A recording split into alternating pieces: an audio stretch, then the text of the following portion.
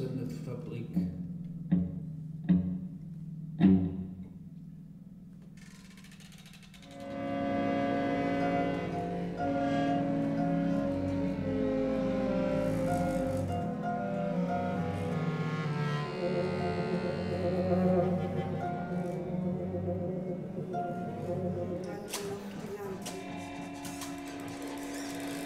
Thank you.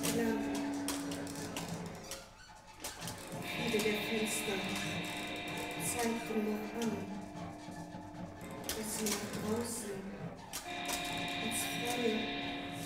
Sie waren von dichten Spinnweblagen überzogen, in denen die Feuchtigkeit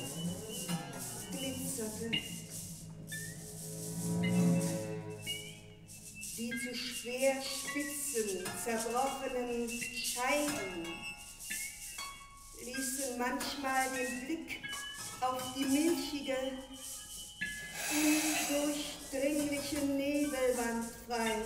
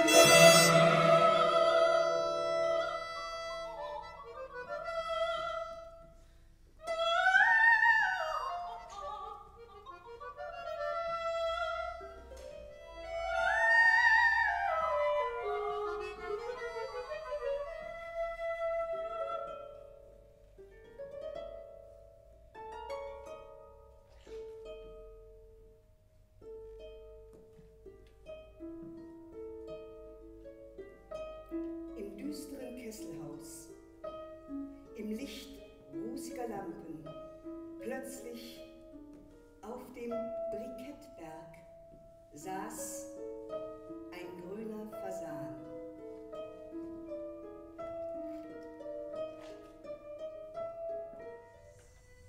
Von Energie und Frost gefressen in die Nacht verschwand.